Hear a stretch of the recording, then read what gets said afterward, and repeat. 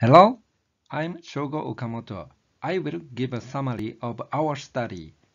Surfaces with finger-sized concave feel softer. For judging softness, tactile cues including the contact area and pressure distribution play important roles in softness perception. For example, when the finger pad contacts a soft object, it deforms and the contact area becomes large. In contrast, when the finger pad contacts a hard object, the object little deforms and the contact area is relatively small.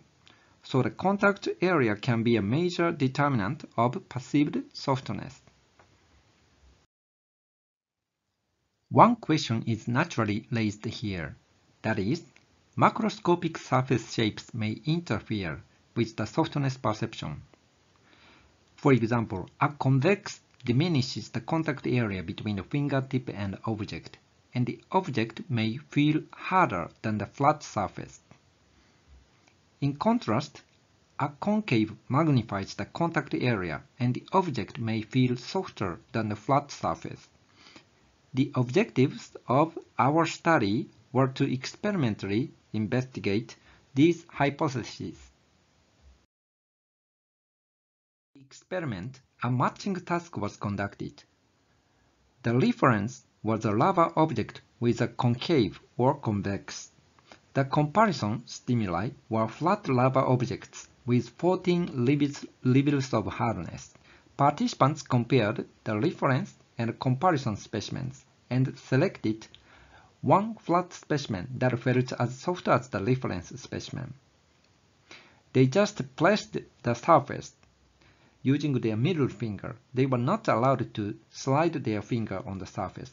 Participants were 17 university students.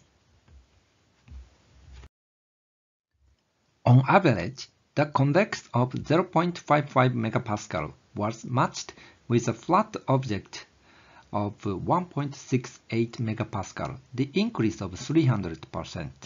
The convex felt harder than the flat surface. Also, the concave of 0.55 MPa was matched with a flat surface of 0.23 MPa, the decrease of 55%. The concave feels softer than the flat surface. Because the Weber ratio of Young's modulus is approximately 15%, the perceptual effects of concave and convex were substantial. That's all for my talk. Thank you very much.